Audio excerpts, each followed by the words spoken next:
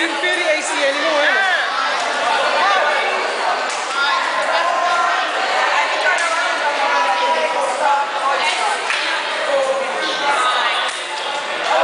Summer's done. I trust you are enjoying your last day here tonight.